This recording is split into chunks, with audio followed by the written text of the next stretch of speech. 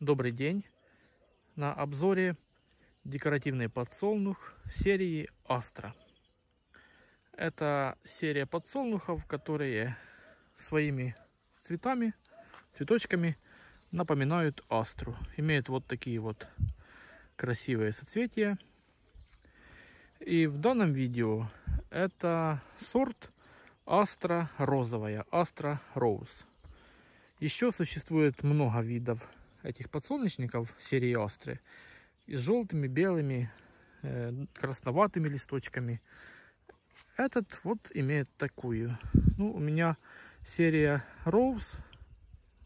Ну, не все, как видите. Есть вот такие, где с розовым оттенком. Это вот серия Rose должна быть с такими розовыми оттенками. Но у меня есть и вот такие, где мало розового. Вот такой вот красивый декоративный подсолнух. Это многоцветковый подсолнух. Как видите, много соцветий. Вот крайний кустик, куча соцветий и куча выкидывает цветочков. Я сейчас похожу, покажу вам, чтобы вы посмотрели всю красоту. Он полный, видите, семян не видно. Исключительно для э, украшения сада, клумбы для срезки. Можно срезать как вот такую вот веточку срезать. Так можно и срезать весь вот этот куст, ну, не куст, а всю верхушку срезать и будет такой букет огромный. Я вот отойду, покажу.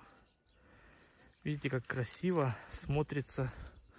Вот этот у меня здесь ряд, ну кустиков, наверное, 20. Посреди огорода растут. Ну вот такие супер красавцы. Такие цветочки. Сейчас я обойду по кругу, постараюсь вам показать эту всю красоту.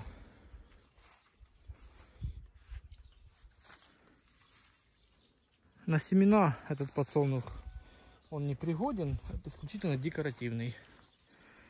Семена очень мелкие.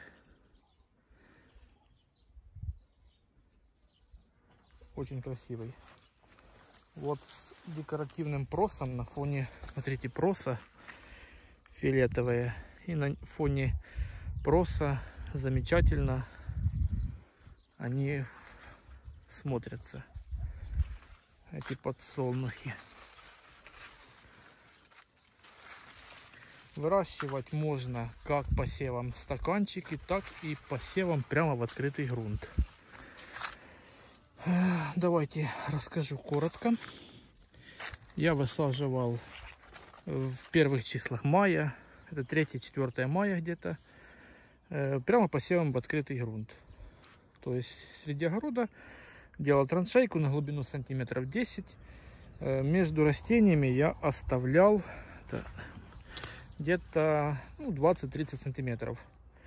Между рядами тоже сантиметров 30-40.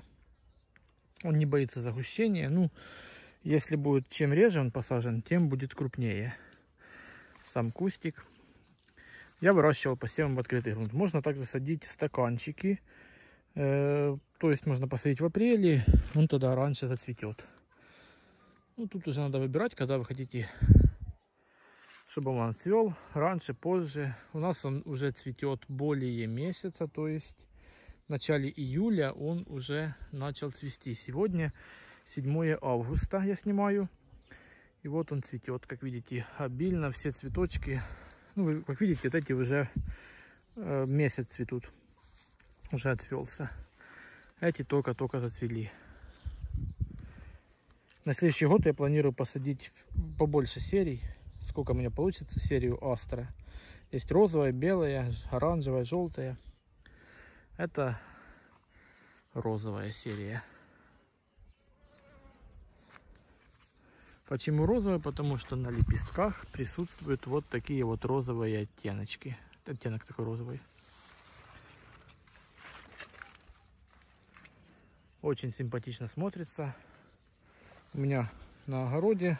Ну, я хочу посадить еще на клумбу. А вот цветочек, который только открылся. Вообще, смотрите, класс. не скажешь, что это и подсолнух. И еще дальше будут цвести. Я так понимаю, весь август и сентябрь они будут цвести, цвести цвести.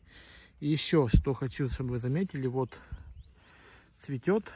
И рядом же еще выкидывает, смотрите, куча будут цветочков. То есть можно вот этот будет срезать.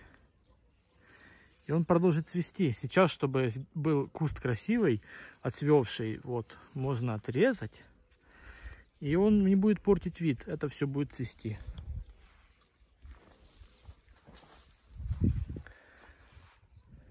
Высотой он около двух метров. Это он тут растет в просторе. И ему есть куда лезть в высоту. Ну, конечно же, если посадить его где-то под деревом, он будет пониже. Я думаю, что можно будет регулировать высоту. Семена этого подсолнечника можно приобрести у меня. В описании под видео есть ссылка на мой сайт, где можно зайти и купить семена этого подсолнечника и многих других сортов. Не только подсолнухов, но и овощей, цветочков, трав пряных и всего остального. До новых встреч, до следующих обзоров. Всем пока!